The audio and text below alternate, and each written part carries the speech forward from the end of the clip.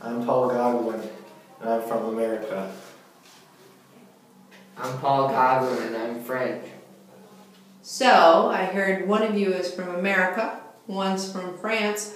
Who's the real artist? I am. You were a French artist? Yes.